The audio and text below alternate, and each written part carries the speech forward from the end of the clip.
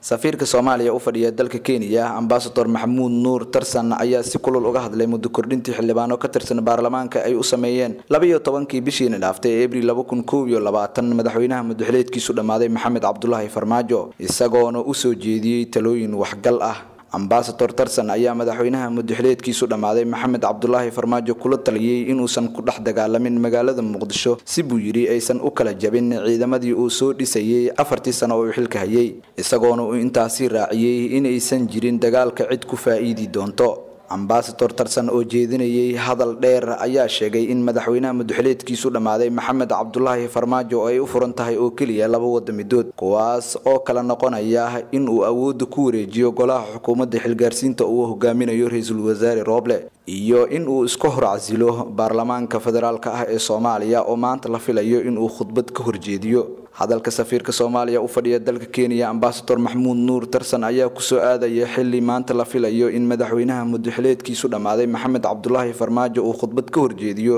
baarlamaanka muddaxileedkiisu dhammaaday ee golaha shacabka ismaaciil cabdulqaadir cali goobjoog muqdisho